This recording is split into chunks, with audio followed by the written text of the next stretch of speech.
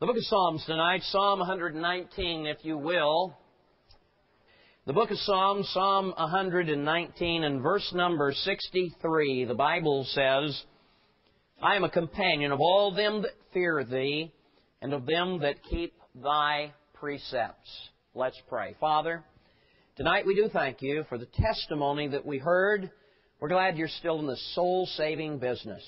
Lord, we just pray you'd continue to work in hearts and lives and Lord, there are others that we rejoice in. We, we think of Tony that came to know Christ this week and, and Andrew and his wife Lisa. And Lord, what a, what a blessing this week has been as you've just continued to shower blessings upon us and upon others. And we pray you just make us uh, concerned about those that are around us without the Savior.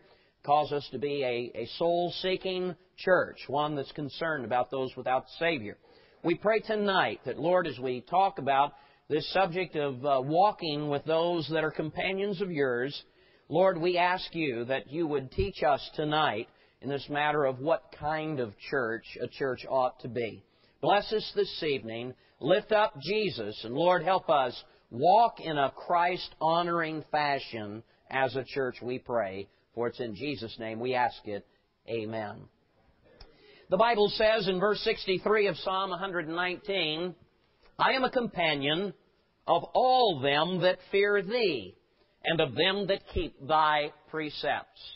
When it comes to the business of finding the right church for your family, finding a church to belong to, one of the questions we must ask is first and foremost, what kind of church would Jesus look for? And I think that there's some answers in our Bible. The title of the message tonight is very simply this Why be a Baptist.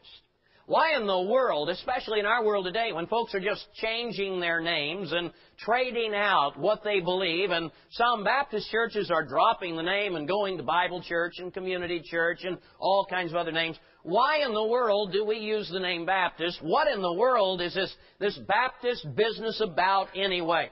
And as you've heard preached many, many times from this pulpit, being a Baptist will never get you to heaven. Well, if being a Baptist isn't going to get you to heaven, then what difference does it make? Well, friend, it makes a lot of difference. If you're in the wrong kind of a church, you won't be pointed in the right direction. Get in the wrong kind of a church, the message won't be as clear as it needs to be. In the wrong kind of a church, surely you will not get the doctrine and the teaching that you ought to have whereby you and your family can grow aright.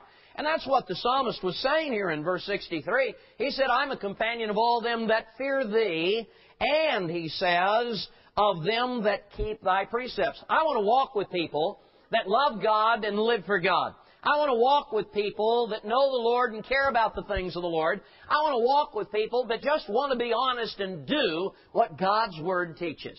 And so when I when I got saved, I remember as I got saved coming out of the Roman Catholic Church, I remember that night when I got saved, one of the things that concerned me was, what church will I now go to? And I prayed and I asked the Lord. I said, Lord, you're going to have to show me. I need to know what church to belong to. I need to know where to be. And Lord, I want to know it from the Bible. That was my concern. I wanted to know from the Bible what kind of church a Christian ought to be a member of. And I figured if I couldn't find it in the Bible, then it'd have to be the wrong kind of a church. And so that's just kind of how I approached the whole subject when I first got saved back in 1971. And I found in the Bible, I believe, what a church ought to be.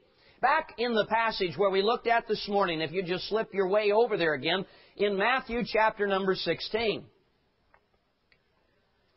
Jesus had asked the question, Who do men say I am? The disciples had said, Well, they've got various answers. And then Jesus said, Well, who do you say I am? Which is the important question. And Peter volunteered the information and he said, You're the Christ, the Son of the living God. Jesus then said, as he got excited, he said, Peter, this is great. Flesh and blood hasn't revealed this to you. You didn't figure this out on your own. You didn't get it from some teacher somewhere. My Father, which is in heaven, has shown you this. That's the only way you could recognize such a thing. That I'm the anointed one, the Christ. That I'm the one that's the chosen one, Christ. I'm the one chosen by the Father to take away the sin of the world, but I'm also the Son of the living God. That Son of God title then speaks of deity, of the fact that Jesus was not just a man, but he was God himself. And then Jesus said these words in verse number 18. He said, I say also unto thee that thou art Peter, and upon this rock I will build my church, and the gates of hell shall not prevail against it. And as we spoke about this morning, and we took the scriptures and we walked through them, we saw that this rock that Jesus was speaking about was not Peter. This rock was not a man. Not a fallible man that could make mistakes and sin and walk away from the Lord, but rather this rock was the person of the Lord Jesus Christ, the purpose that Christ had in coming into this world, and then the power of Christ in being able to save and secure those that, that come to Him. And so that's the picture of the rock. But notice what Jesus says.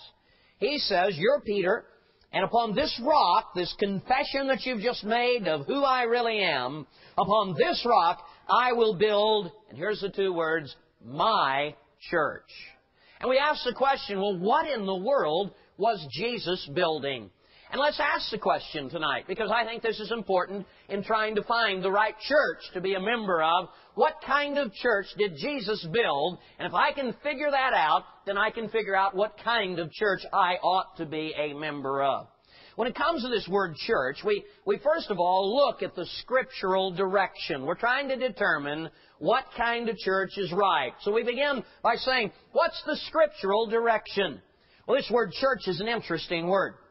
It's a word which means a called out assembly called out from places, from wherever they work and live and, and their lives are engaged throughout daily living, called out to assemble, it's a called out assembly, to assemble at a particular place. Now, an assembly is something that has location. An assembly is something that has visibility. You can see it when people assemble. An assembly is something that gets together. And but Jesus said this, He said, I'm come to build my church. And so Jesus' church is more than just an assembly. Jesus' church is an assembly for the purpose of carrying out what Christ has said a church ought to do. Now, when I say that, what I mean by that is here's, here's a simple definition from the Bible for the word church, for the Lord's church. The Lord's church is made up of saved people, people that have been born again. The only kind of people that ought to be a member of a church are people that have a, a conversion experience and a testimony that they can give to others. Our church, we, we put a lot of stock in that. We ask folks to give their testimony before they join. Some people will not join our church because they don't want to have to stand in front of others and tell them what God has done in their life. And maybe sometimes it's because of fright as they look out and they say, Boy, I wouldn't want everybody looking at me. And I can understand that. But friend, if Christ really lives in your heart, You'll not be ashamed to own Christ and to tell others of Christ, especially a friendly crowd, like, I mean, maybe not a good looking crowd all the time, but a friendly crowd who's, who's sympathetic and, and loves the Lord too. I mean, if you won't tell people who are saved that you're saved, then you'll certainly never tell anybody outside the church house, who, you know, lost folk, you're going to keep your mouth closed. And that's not what a disciple ought to do. But other folks may say, well, I don't want to give my testimony because I just frankly don't have one. And in that case, I would suggest to you the very best thing for you to do is to sit down and examine your own salvation, friend. You ought to have a testimony that, that makes sense not only to you, but makes sense first and foremost to God, and second, makes sense to God's people. And if it doesn't make sense to God's people, there's something wrong there. So a church is made up of saved people, born again people. Second, people that have been scripturally baptized. The way into the Lord's church is through scriptural baptism. We'll say more about that a little later probably, but, but baptized folk are the only ones that belong in the church. And that is the door into that church. Third of all, it's saved, baptized people that gather together. That's what a church is. It's an assembly. And so if you don't assemble here from time to time, if you don't join us in our regularly scheduled meetings, then what you're saying is, I'm not part of the assembly anymore. That's why we have in our, in our Constitution that after three months, if a person has not been regular and faithful in attendance and they have no real reason for not being here, after that three months, they then become a candidate to be dropped from the membership. And we don't just hatchet them right away normally, but uh, if there's no real interest and we can't get any real response or commitment to get faithful to God again, then we'll drop their membership because being a member means that you're going to assemble with the assembly. Saved, baptized, gather together. Why do we gather together? For the purpose of the Great Commission. We have a reason for being here. We don't just build buildings. We aren't just interested in gathering up money so we can fill the, the pockets of the preacher and the staff. We're here for a purpose. Our purpose is to carry out the Great Commission, to get the gospel around the world, to let the whole world know that Jesus Christ has died for their sin and He offers to them eternal life. That becomes the, the very heartbeat of the Lord's church. And that's what the Lehigh Valley Baptist Church is all about. Now, some folks, when you begin to talk about a church, they get the wrong idea. They think, well, a church, isn't that a building? Well, friend, if you're looking for a building to join, You've got the wrong idea because Jesus never had a building. It was not a building that Jesus said that he would build. Other folks say, well, I, uh, I want to join a denomination. Well, friend, you've got the wrong idea because Jesus never started a denomination as such. He did not start a, an organization that then becomes the power and the overseeing authority over all the different local churches. He never started that. Jesus did not start a denomination. So if you're looking for a denomination, Jesus didn't say, I'll build my denomination. He said, I'll build my church. The, the third thing, some folks say, well, I, I believe in the church, but I believe in the, in the Catholic Church. And you say, well, I don't necessarily mean the, the Roman Catholic, but I believe in the Catholic. That word Catholic means universal. Well, now, universal church, as the Catholics would define it, would be like this. They believe in a universal, universal means all around the world, everywhere, visible church. By visible, what they mean are the people who congregate around the world under their dome of, of Roman Catholicism and answer to, of course, their priest, ultimately the bishop, and then the cardinal, and then on up the, the pole, the totem pole, until you get to the Pope himself. And he oversees this one world church, this, this universal visible church. That's the Catholic's view of what a church is. But friend, that was never the view of Jesus Christ. It was never a term used in Jesus' day. It was never construed that way by anybody in any Greek literature in any time at all during the time of Christ. It, it was not the way people thought of what a church was. Along came Martin Luther, though. In the 1500s, early 1500s, Martin Luther uh, professes to have gotten saved. And whether he is or isn't is is a matter for some debate, I suppose. As I read some of his writings, I rather doubt that the man knew Christ as, a, as his personal Savior. But that's neither here nor there. Martin Luther was a Roman Catholic priest. When he decided that he had to break with Rome over his, his different reasons that he was upset with Rome over, he realized that as the Catholic Church teaches, that being a member of Rome, joining Rome's church, is the equivalent of having your key to get into heaven if you're not a member of Rome, if you're not a member of Rome's church, if you're not under Rome's authority, then you do not have any guarantee or any real hope of getting to heaven. Now, will you contrast that for just a moment here? Will you contrast that with what Baptists believe and teach? Baptists do not believe and Baptists do not teach that you go to heaven because you're a Baptist. It's not being a Baptist that saves you. Catholicism says being a Catholic does play the part of getting you into heaven. That's their writings, not mine, and can be proven from their own writings. But Martin Luther, as a Roman Catholic priest, realized now if I'm going to disagree with the Roman Catholic Church and I leave this Roman Catholic Church, I am leaving God. I am leaving heaven. I am leaving my only hope of heaven, and I've got serious problems. So Martin Luther sat down and he formulated what today is known as the Universal Invisible Church. He believed in this Catholic Church, Universal Church, but he said it's an invisible church.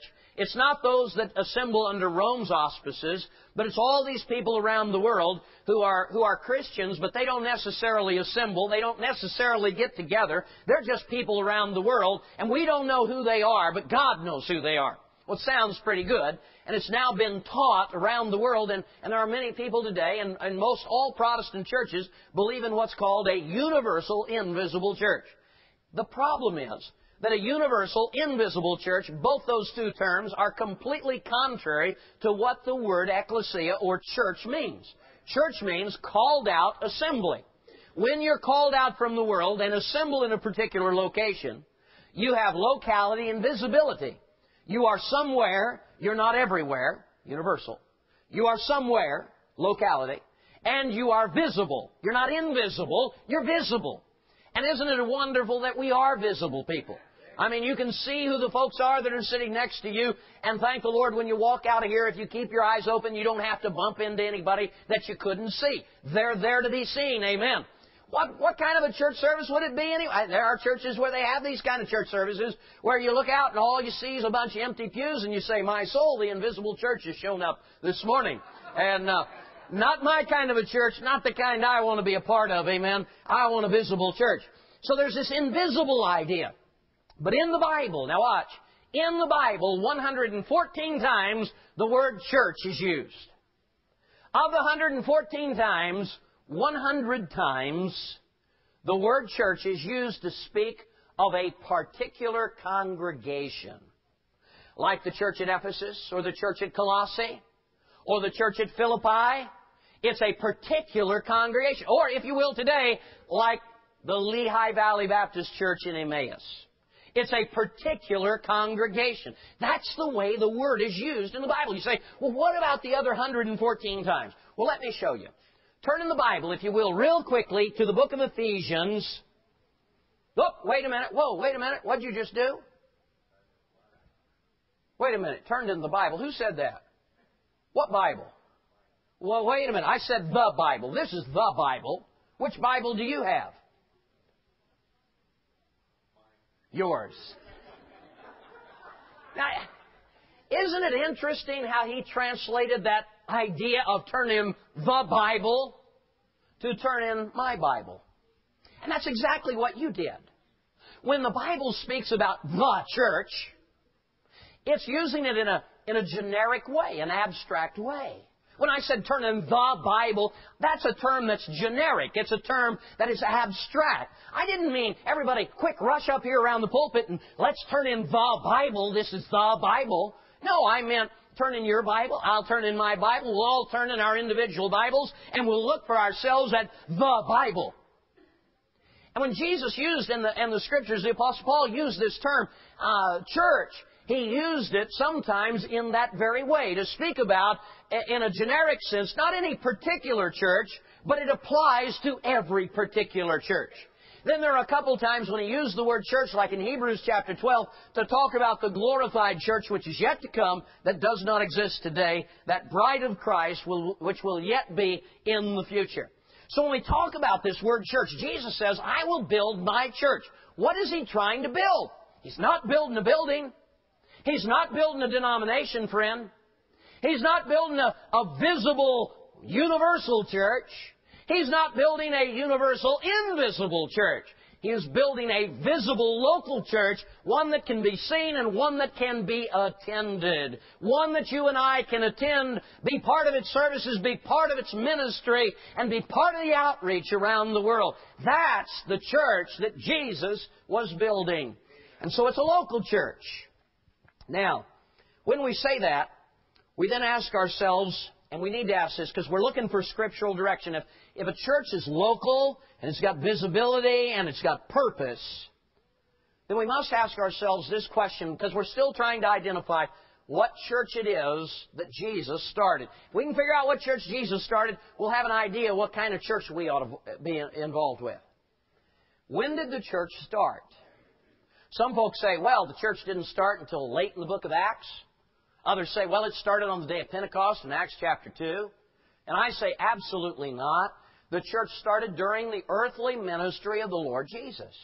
And somebody may scratch their head and say, well, how can you be so sure? Oh, it's real simple. What does the word church mean? It means a called out assembly. And when Jesus uses the term, it talks about saved people that have been scripturally baptized for the purpose of gathering together, for the purpose of carrying out the Great Commission. Those four things are important in the Lord's church. And so we say, well, when did this church begin? If it didn't start on the day of Pentecost, when did it begin? Well, we know as far back as uh, Matthew chapter 18, Jesus gave instructions. And he said, What I want done in the church is when you have a problem with a brother, you go to that brother and try to deal with it. And if that doesn't work out, then you sit down with, with some witnesses and try to work it out. And If that doesn't work out, then if necessary, you bring it to the congregation and deal with it in the church, he said. Now, his disciples were standing there that day. He was giving them instructions, and he said, if you got a problem with a brother and you can't work it out, you take witnesses, and if that doesn't work out, then you take it to the church. Right then and there, if there was no church, if there wasn't a church in existence, would not the disciples have slipped up their hand, or Peter just blurted it out and said, Lord, what is a church? Now, doesn't that make sense? I mean, there had to have been a church when Jesus told them to go to the church. And if there wasn't a church and Jesus had said, go to the church, doesn't it make sense that they would have said, Lord, what are you talking about? What church? What assembly? Where do we look for this thing? But they knew exactly what he was talking about. Over in the book of Hebrews, uh, if we were to slip over there, we'll not take the time, but in Hebrews chapter 12, or 2, uh, verse number 12, we're told over there that Jesus sang in the church. Well, when did Jesus ever sing in the New Testament? There's only one time. And that was over in the book of Matthew, chapter 26, at the end of the Lord's Supper, after he'd instituted the Lord's Supper, and they got ready to go out into the garden, and what they do? The Bible says they sang a hymn. Oh, now, they sang a hymn means Jesus sang with them. Boy, what a voice that must have been, and what a song it must have been. I don't know what they sang, but they sang, my friend. Jesus sang in the church, Hebrews tells us. And so, my friend, it must have been a church by that time. And we could go on and on. We could, we could look, for instance, at Acts chapter 2 and verse number 41 and verse number 47 where it says that when they received the Word of God, they were baptized, and the same day there were added unto them about 3,000 souls. But in verse 47, what's it say? It says they were added where? To the church. Now, friends, you can't add something to something that doesn't exist. Something had to exist first. That church existed in order for them to be added to it. And so these people were added to a church that already existed. It was already in existence by the time of the Lord Jesus. But you say, well, I don't understand what difference this makes. Oh, it makes a lot of difference. Turn, if you will, to the book of, uh, let me think here. Let's go to, uh, let's go to Luke chapter 6. Let's just do that. The book of Luke, chapter number 6, verse 12. It says, And it came to pass in those days that he went out into a mountain to pray, and he continued all night in prayer to God. And when it was day, he called unto him his disciples, of whom, uh, and of them he chose twelve, whom also he named apostles. Now watch. He called his disciples together. He chose twelve of them, and he named them apostles. Now keep that thought in your mind, and turn to the book of 1 Corinthians, chapter number 12. 1 Corinthians chapter number 12. Verse number 28. The Bible says in verse 28, it says, And God has set some in the church. First who? Apostles. Well, now, when did he call them apostles? Luke chapter 6. Now, follow this thought. Luke chapter 6, he called them apostles. The Bible says he first set the apostles in the church. The apostles were set in the church in Luke chapter 6. Now, you don't set somebody into something that doesn't exist. Again, like you don't add something to something that doesn't exist. These men were ordained as apostles, but watch, they were members before Jesus set them apart as the apostles within the church, before they were given the office of an apostle. So you say, well, when did that church actually begin? The earliest stage we could go back to would be when Jesus went to them and he called them out. The Bible says he called them out, he went to them individually, one at a time, and he said, Come, follow me, and I will make you fishers of men. Now, were those men already saved? Yes. Had they already been baptized? And the answer is yes. For the book of Acts chapter 1 tells us that the apostles all had John's baptism. It was a prerequisite. And the Bible says in Luke that John's job was to prepare a people for the Lord's church. That's what John was doing. And so here's John preparing a people for the Lord. Jesus goes and picks out of John's disciples, the twelve, calls them to come to follow him. There's that called out assembly. Come, follow me. And what purpose? I will make you fishers of men. And so they had their purpose. They had locality, they had a purpose, but watch, they were already saved people, they had a testimony, and they had scriptural baptism because they had John's baptism. A fellow called the other day and he said, I don't believe that John's baptism was scriptural. Well, friend, you may not believe it, but Jesus was happy with it, and it's the only baptism Jesus ever had. In fact, he walked some 60 miles to get that baptism, so Jesus must have been happy with it. John's baptism is New Testament baptism. In fact, Jesus said there's only two kinds of baptism. In the book of Matthew 21, 25, he said there's only two kinds of baptisms. There's, there's baptism from heaven and there's baptism of men. Which is John's? And that's what Jesus was asking the question of. The disciples would, or the uh, Pharisees wouldn't answer him, and the obvious answer was John's baptism came from heaven. He had the very authority of God Himself as he did his baptizing. And so when we when we look for a church, what we're saying is this: we're looking for a church that assembles. We're looking for a church that, that realizes that they have a purpose and is going to fulfill that purpose, and a church that believes that people have to be saved and scripturally baptized. That narrows our parameters down as we look for a church. That is our scriptural direction. But second, there is a historical demonstration of the Lord's church. Now follow this. Bible says, in fact, let's turn there. Matthew chapter 28. You remember the passage we read in Matthew 16? It said over there, I will build a church and the gates of hell shall not prevail against it. Jesus did the building. Jesus started the church. And he said the gates of hell will not prevail against it. Watch this promise. Matthew 28, 18. Jesus came and spake unto them saying, All power is given unto me in heaven and in earth. Go ye therefore and teach all nations, baptizing them in the name of the Father and of the Son and of the Holy Ghost. That's the purpose. Teaching them to observe all things whatsoever I have commanded you. And watch, lo, I am with you how long? Always. Even unto the end of the what? The world. Follow.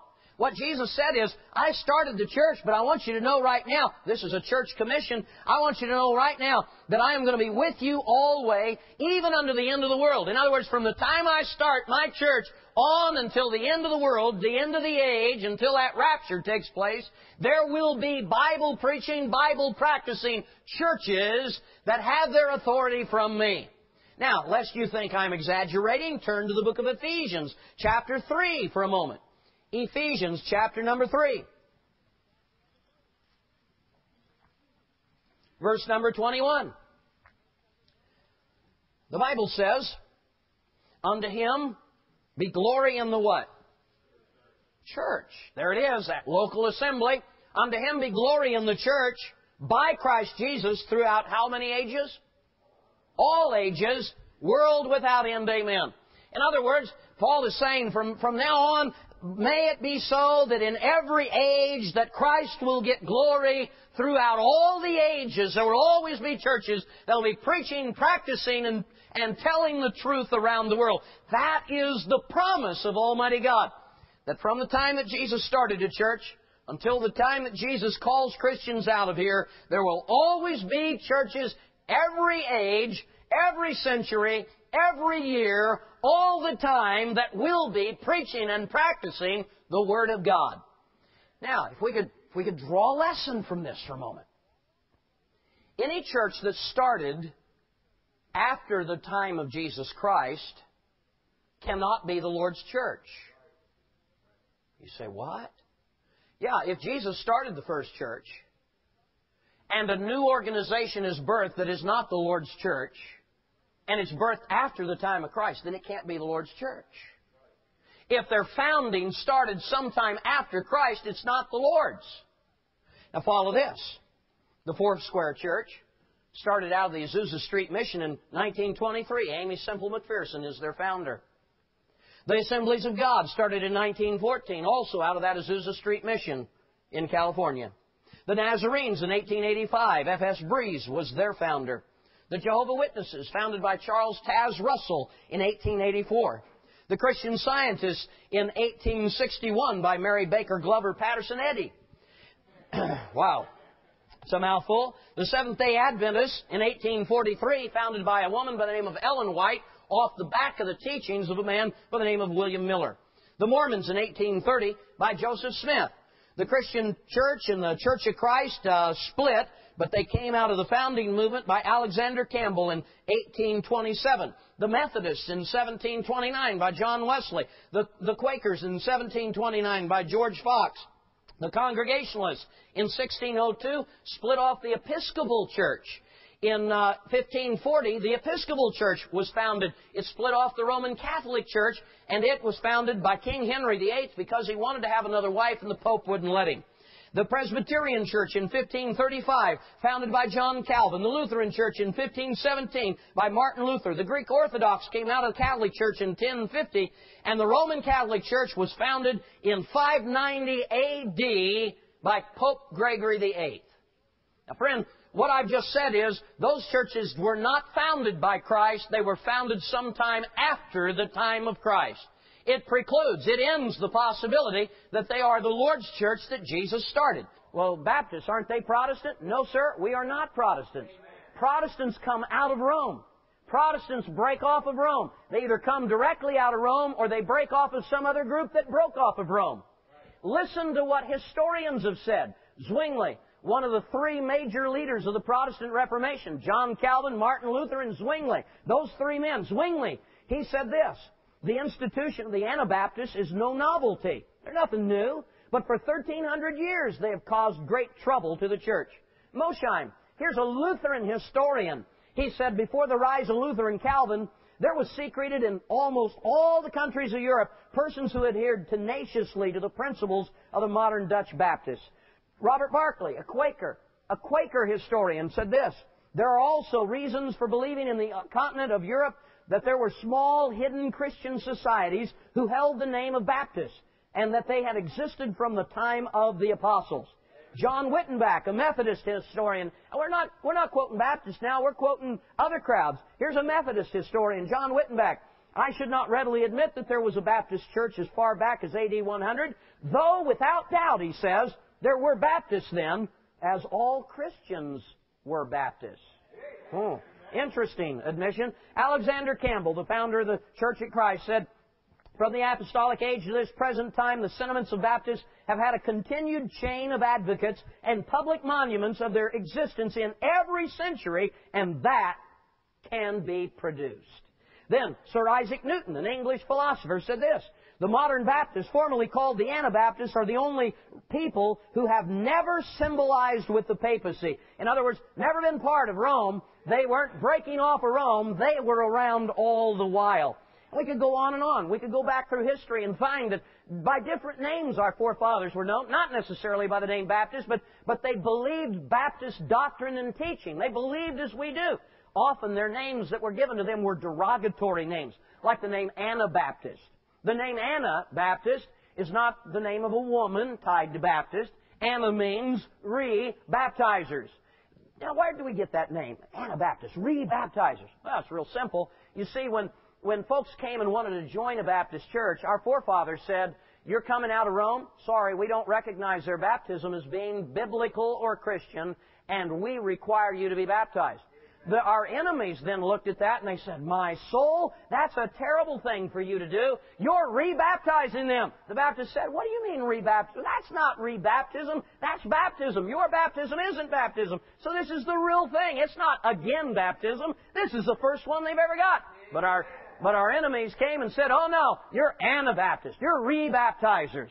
Then we could go on with other names, the Montanists and the Waldensians, the, the Lollards and the Huguenots and, and the Albigenses and on and on, different names that they were given. And those names often, again, were, were derogatory names that were given to them. So what we've seen tonight is that there's a scriptural direction in the Word of God as to what kind of a church to look for. Second, there's, there's a historical demonstration that there have, has been another kind of church around besides just the Roman Catholics. And there are only two kind out. Now watch. Only two kinds of churches today that claim to have a history that goes back to the time of Jesus. None of the other groups do because all the other groups know they're Protestants. They broke off of Rome. The two groups are these. The Roman Catholic Church, which claims to have been started by Jesus through Peter, who was the first pope. And the Baptists, who claim that their church was started by Jesus during his earthly ministry. That's the only two choices, friend. The only two groups alive, the only two groups that go back to the time of Christ. It's one or the other. And if that rock in Matthew chapter 16 that we spoke of this morning is Peter, then the Roman Catholic Church is the church you need to go to. If that rock, my friend, is none other than the Lord Jesus Christ, then the Roman Catholic Church most assuredly is not the Church of Jesus Christ, and it is an Antichrist church, if you will. They stand against Christ by their doctrine. You say, well, are you saying that all Catholics are terrible people? Absolutely not. Absolutely not. This has to do with what the church teaches officially. There are people who sit in Baptist churches don't believe what's taught from the pulpit, as there are people in Catholic churches who don't believe what's taught from Rome. And so just because somebody attends somewhere doesn't mean that they necessarily agree with everything that's taught. But that is what the church teaches, the Roman Catholic Church teaches. They teach a false gospel.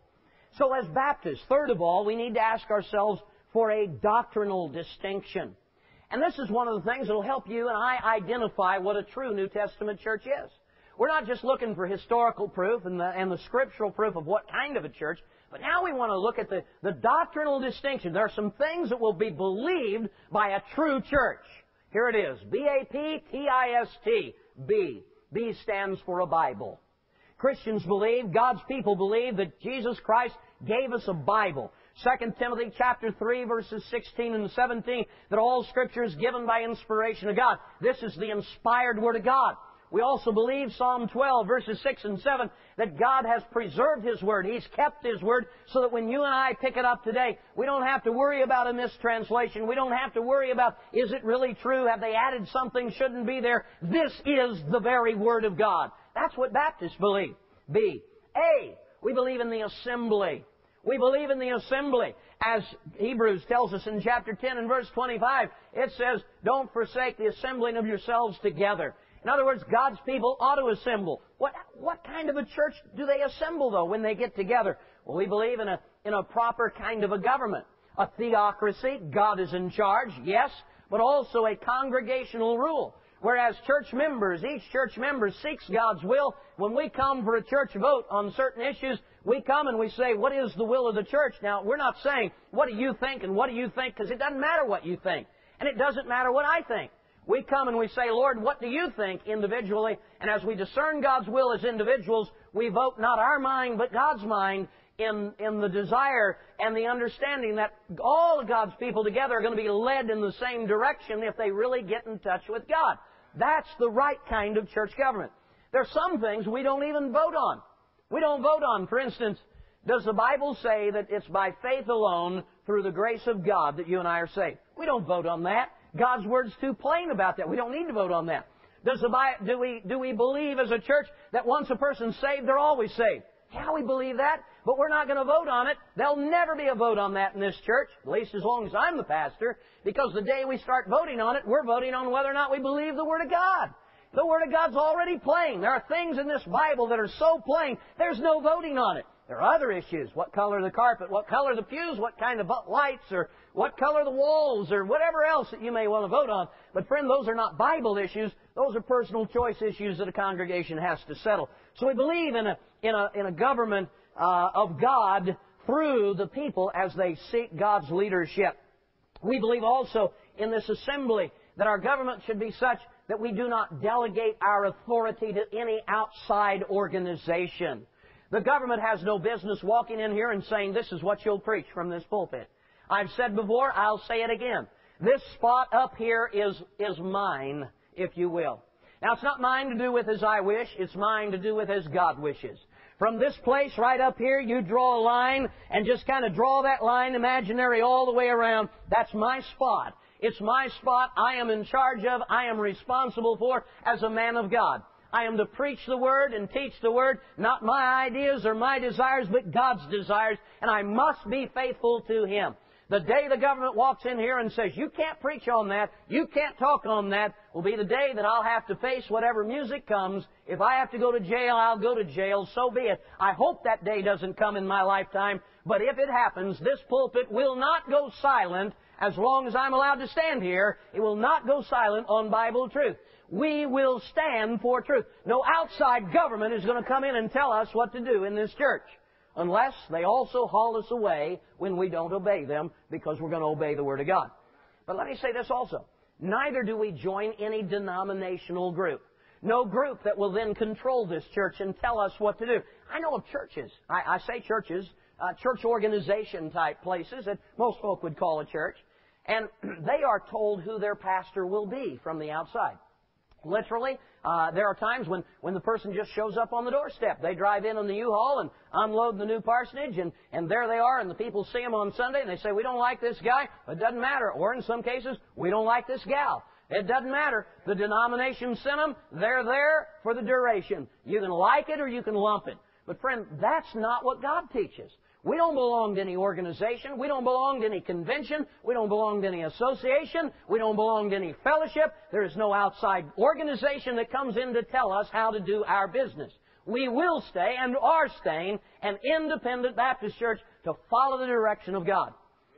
that applies to our missions work. I had a former church member write me this week. He said, Pastor Hammett, I'd like to ask you to send us some money. That got my attention. He said, I know that you've done some wonderful things in the past as a church, and, you know, I was there when we've done some of those things, and, and I knew that you'd want to know about this and pray for us at least, but send us some money if you could. So I was intrigued. I read on. He said, Our, our pastor is a missionary under a mission board. He has been sent to us. We have about 15 to 20 families in our church. And we have, he sent me in the email some pictures of, of a kind of like a Quonset hut metal type building that they're meeting in. He said it's very cold here in the winter and the wind runs through here and we want to try to fix this building up so it's more presentable. And I thought, well, that's nice. He said, our pastor gets his support from the mission board. We found a a mission organization that will send some workers in to do the work on the building. All we have to do is raise $35,000 to pay for the repairs, the materials that they're going to put into our building. They'll come and do all the work for us. We just need the money, and we're asking you to help provide some of that money. Well, I wrote him back. I said, Dear brother, I said, you may or may not remember that while you were a member here, we don't get involved with mission boards. I said, because we don't believe that mission boards should control the church, nor do we believe that those mission boards uh, should continue supporting a pastor when the church is well able to take care of their own pastor. I said, it seems to me that a church with 15 to 20 members could pay its own bills. Seems to me that a church of 15 to 20 members ought to be, and I know that there are extenuating circumstances as well, they probably do have, but uh, I said, you know, they really ought to be able to pay their pastor. Ten tithing members is an equal salary. You take ten tithing members who give 10% of their income, that's equal to what the average uh, offering, that average giving would be the average salary that a pastor would then receive. Then you need a few more families to help pay the bills around the church for the roof or whatever else you're going to do. I understand that, but 15 to 20 families surely could pay a pastor. So I wrote him back and I said, I don't understand why you can't raise $35,000 if you're not paying your pastor. Number two, I don't understand why you are asking another group to come in and do all the work if you've got 15 to 25 or 15 to 20 able-bodied men in the church. Why don't they do the work in the church? And I understand that there's a place for some expertise, but I said, you know, this doesn't make sense to me. He wrote me back. He said, you just don't understand how, how hard it is here and how necessary mission boards are at times. Well, I wrote him back again. I haven't heard from him since. Now, I mean no disrespect, and I wish him the very best. But, friend, I believe that there's a place where a church needs to take on its own responsibility. We've started churches and we've done some wonderful things for some of the churches that we've started, and I don't mind helping folks as long as those folks are willing to help themselves and work at it. But if they expect me or our church to come in and rescue them and just do for them, and they're going to sit back on easy street and let us do all the work and all the all the paying, I'm sorry, they got the wrong fella to try to tag for that kind of a bill. I'm not going to be involved in that because I don't believe that's God's way. We believe that a mission board has no business telling a missionary how to operate. We believe that responsibility is the Lord's church's job. And the members that go out of this church as missionaries on the foreign field answer to this church. We are responsible to oversee their ministry. We are responsible if there's a need in their ministry to make sure that it gets met. We are responsible to pray for them. We are responsible to oversee those needs. We have a responsibility. And yes, it's costly. And certainly there are times when as a pastor, I wish I could just say, go see a mission board. Yeah, get that trouble off my desk. I don't want it. But also, if I did that, I'd also be saying, take all the blessings away too. I'd much rather enjoy the blessings as well as the burdens and do it God's way. Bible, assembly. P stands for perseverance of the saints. The book of Romans chapter 2, it says over there, it's by continuance, continuance in well, patient continuance in well doing that we show that we have eternal life. We believe that when a person gets saved, they keep on living the Christian life. That if you get saved and then for years after you don't show any sign of life, that you never really got saved to start with. There will be a perseverance. When the Holy Spirit of God comes to live inside of you, there'll be a change in your life. You won't go out and sow your wild oats for the next 20 years and then one day come back to God and say, well, I've been a Christian all along. No, sir, I'm sorry. That's not the salvation of the Bible. Then there's the preservation of the saints. We believe that when people get saved, they're preserved by God. They're kept by God. You get saved. No, you're not perfect, but thank God He's the one that does the keeping. You don't keep yourself. He keeps you. You can't be plucked out of the Father's hand. You are safe in His hands. Baptist, Bible, assembly, perseverance or preservation, and then T is two ordinances. We believe there are two ordinances to the church. Only two, not three. Two ordinances. Baptism, which you saw tonight. Baptism, what a wonderful picture of the death, burial, and resurrection of Jesus Christ. Baptism is meant for saved people. Baptism is meant to be by immersion, going under the water. It's not, not just a few drops of water on the head. Baptism is an immersion, a dipping, a plunging. That's what the word means. Baptism is given for a reason. It's to show the death, burial, and resurrection of Christ as they go under and come back up, but also to show their own death, burial, and resurrection that they want to live a new life for the Lord Jesus. Fourth of all, that baptism is done on the authority of the Lord's church. They must have a proper authority. It's not my authority. It's not Brother Wilhite's authority. It's not some individual authority. It's the Lord's church's authority. It's the church that authorizes a baptism. Second, there's the Lord's Supper, which we will be celebrating, Lord willing, just before Easter, that week before Easter on a Wednesday night. And as we celebrate the Lord's Supper, we understand that that is a picture of, of the body and blood of the Lord Jesus that was broken and shed for our sins. It's a picture that's given to the Lord's church. It's for the church members of that particular congregation to be reminded of what Christ has done for them and also what they now owe Christ in their life. They owe Him their all. Two ordinances. I, individual responsibility. Baptists believe in individual responsibility. That you don't just come to church and say, well, the preacher said it, I gotta believe it. No, sir. Like the Bereans, you need to search out the Scriptures and see whether or not it's so. You need to check it out for yourself because one day you'll stand before God and God won't say to you, Mark Hutchin, what did your preacher believe about salvation? Oh, he thought you'd get here by baptism? Come on in, don't worry about it. God's not going to ask such a question.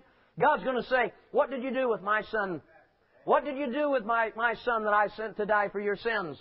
What did you do with the truth that I gave you? And as he begins to give the five crowns out, my friend, those five crowns will be handed out in accordance with the Word of God. Did you strive lawfully? And if you did not strive lawfully, you will have those crowns removed. So you better check the book out for yourself. Yes, God gave you a pastor for a reason. But friend, I am not God and I am not perfect, as you well know by now. But you must check this book out for yourself. Study it. Individual responsibility also means we believe in religious liberty as Baptists. As I've said uh, through this flap that went on down there with Bob Jones, I don't agree with Bob Jones on a lot of things. I'm not a fan of Bob Jones. You folks know that.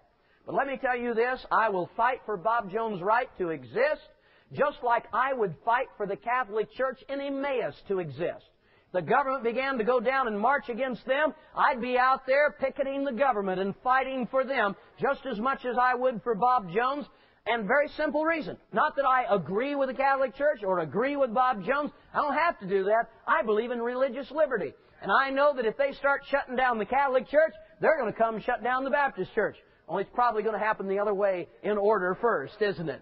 If they go to shut down the Jehovah Witnesses, they're going to come and shut us down. Friend, we just believe as Baptists that if, if we lay true, truth out on the table and let others lay their error out on the table, any sane man looking at the Scriptures can judge for themselves and see what God has to say, and the truth will make itself apparent to a man with an honest heart. And so as Baptists, we don't pull a gun out and convert a man at gunpoint. We don't believe in pulling a sword out. And we don't need an unfair advantage. All we ask for is an open debate of truth. You let truth be laid out, and it will win in an honest, uh, seeking heart. So, Bible, assembly, perseverance and preservation, two ordinances, individual responsibility, and then S, we believe in salvation. Salvation. We believe that it changes a man. We believe it changes a woman. We believe that salvation comes through repentance, a willingness to turn from your sin and putting faith in Christ and Christ alone. Salvation is not in a church. That is not in an ordinance. It's not in a ritual. It's in a relationship with the Lord Jesus Christ that totally transforms that, uh, that individual's life. S, salvation, and S, separation at the same time, if I may. Separation, personal separation, that God intends for His people to live a holy life. That we not be like the world, smell like the world, act like the world, talk like the world. We need to be careful of our words. We need to be careful of our thoughts. We need to be careful of our actions. We need to be careful of our dress. We need to be careful of our conduct. We need to be careful of where we find ourselves. We need to be separate as a people. But not only personal separation, there's what we call ecclesiastical separation. That as a church, we don't associate with certain organizations and groups even though they may be doing much good, because of other areas that then would be compromised. As the Lord's church, the only organization we belong cooperating with are other churches that are the Lord's church and meet His designation as a church. Last of all, Bible, assembly, perseverance and preservation, two ordinances, individual responsibility,